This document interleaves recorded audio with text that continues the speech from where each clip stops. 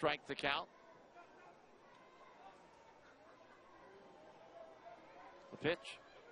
Swinging a fly ball left field. Look out. Puello going back. It's up there. It's out there and it's gone. An opposite field home run by Edwin Rios, his seventh with Oklahoma City. And for the first time in this series, the Dodgers are in front, three to two. Rios going the opposite field and dropping that one on the berm in straightaway left. So now three to two Oklahoma City. For Adam Hofacket, that's his second home run allowed in 10 and one third innings for the Bees.